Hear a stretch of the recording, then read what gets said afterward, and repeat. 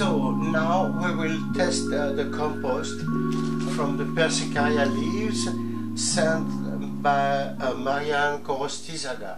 So she is doing her, her own compost from the Persicaria leaves and it is supposed to be much stronger than only crushed and dried leaves. But anyways, the recipe will be the same. So I will have 80, which is four parts. Then I put my hot water, but instead of one kettle I will have two. So I will have three parts of wood ash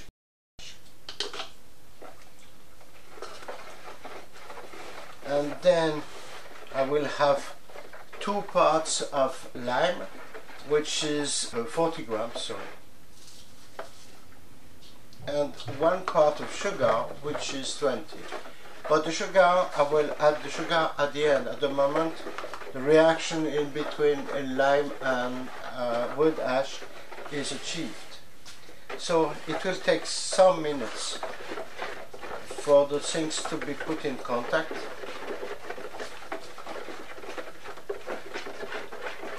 maybe it will be more appreciated if I put a little bit of water. I will put more water it will be more comfortable. But just to see actually you, you will see that if I put the sugar and stir it's coming. So it takes exactly one minute to prepare the compost vat some uh, person te tell me that it was a, a super instant quick fermented fermenting vat but of course there's no fermentation. It is boiling water in three four minutes. So it is just from the compost but it is organic vat anyways. You will see it is extremely easy. So now we need to be patient maybe to wait for a couple of minutes for the bubbles appear appearing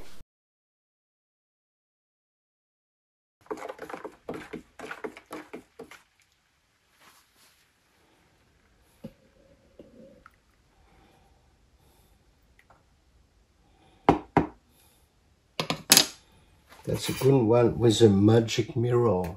You know the magic This mirror? this copper, yeah. yes. Copper core. But that's a tale Mhm, from it's Charles Perrault, the magic mirror. Magic mirror. So that's the cotton again. So in the compost vat we will have the three things you already know. You will have the um, cotton, the silk and the wool. I will put that at the same time. The three at for three dips, three different dips. Then we will see how it takes the color. So that's interesting because it's not so much compost and then you will see that you, you get quite a range of, of colors. Uh, so that's the wool here.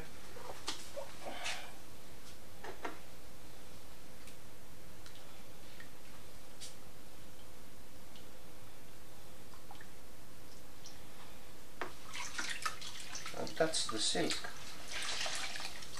all these pieces we can save them for uh, demonstrating how to combine different colors to get the greens to get the purples and everything. So this will be the at the end of the tutori tutorial we can have a range of, sh of shades from uh, the indigo plus other colors. So actually okay so this is uh, the first dip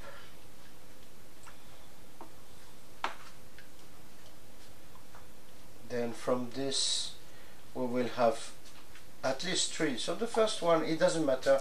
The first one can be oh sorry. The first one can be short. So that's the wool actually.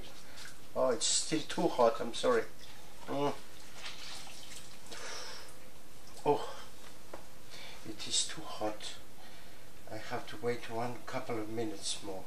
So the wool is not taking whenever you put it at the beginning it is not as strong as uh, the other fibers but anyways it's giving something. So that's my first dip. And then I will have the okay so that's the silk here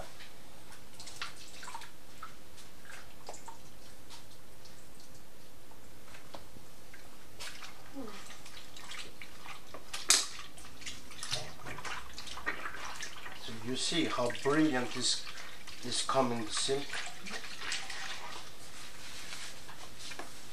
Oops. I did not put any filter so we have little pieces of compost coming together. But it doesn't matter. That's the tutorial right? So that's the demo. Simple demo to show you that it is not difficult. Anyways so here so the reduction is really good after just a couple of minutes except that I'm burning my fingers. Normally I should be patient and wait for it to cool. Of course it will be much more comfortable. But this is just to show you that it works easily. You do not have to wait for the bacteria to develop and everything. You heard about the, the vat you see this is keeping green for long so we wait for it to turn blue first before we put that again in. So that's the rule of the vat. So I have to pick some uh, more water to rinse it. So I will put this one and rinse the others. So uh, I will be able to have my three dips. So let's rinse that at the tap first and come back You see how beautiful it is? Mm -hmm.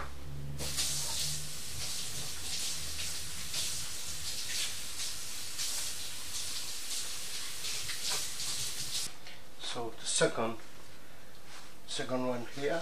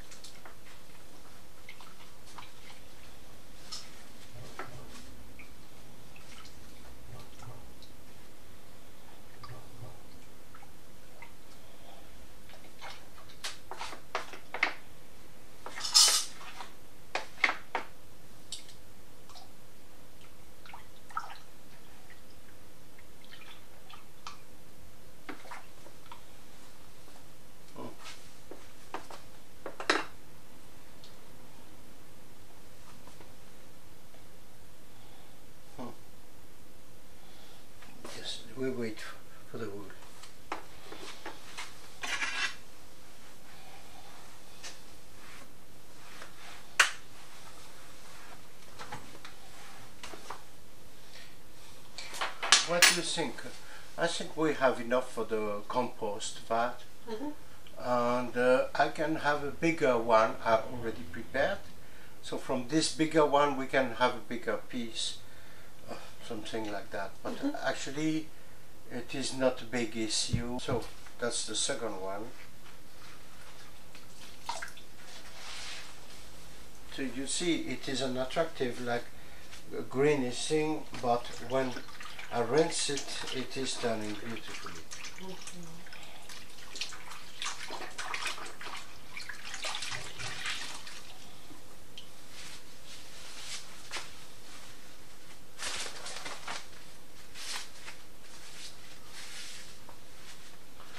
Okay, so that's better. So the dark here.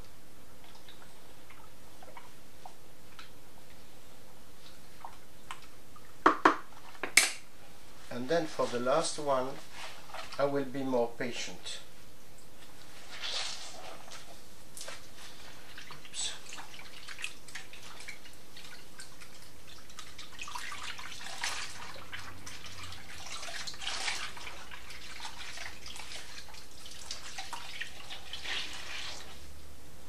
So I need more clear water actually.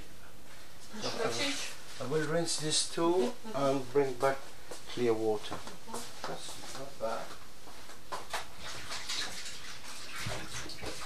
Okay, so the third dip, the vat is still quite hot, but well, that's good to get that turquoise actually. And tomorrow we will have another piece of silk in the cold vat, and you will see an incredible difference just by changing the temperature. So what's the determinant factor to, to get a normal indigo vat from the compost? Exactly the same than for uh, okay, recording. okay. Okay, so let's take the pieces and rinse them to see how it came. Oh, you see that's the cotton first coming. Still very hot for my fingers, but then at least you see that we don't expect the thing to ferment and everything. We just dissolve the indigo tin. So that's my beautiful uh, cotton appearing as a, a very dark shade here.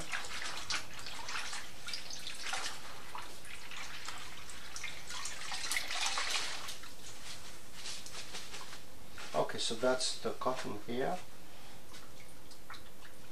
Then this is the wool, turning also very dark. After two or three dips,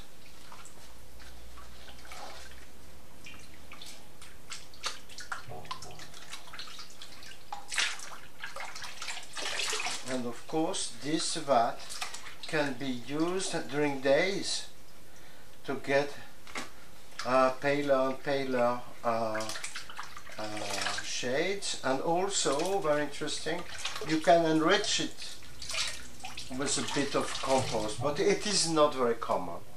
Some people enrich the vat with the um, uh, indigo pigment as we will see the last day.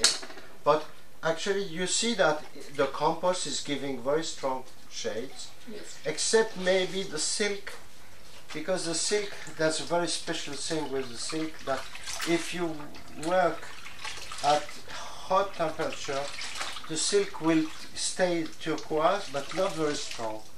So we have an interesting shade on the silk which is not exactly the same level. So it's it looks paler compared to the other fibers but also that's the price for this special shade. But what's the reason? If it, because the silk itself uh, turned a, a bit yellowish, or it's other reason of this turquoise color. Well, I cannot explain Okay. clearly. Mhm. That's question of isoelectric point of the fiber. Mhm, okay. So each protein has a kind of a special uh, optimum uh, for exchanging OH Yeah. And uh, hydrogen okay. bonds. just to know. And then, okay, that's that's the point. I cannot explain Yep. clearly. Yep. Okay, so now I will open it at the thread uh, outside on the line.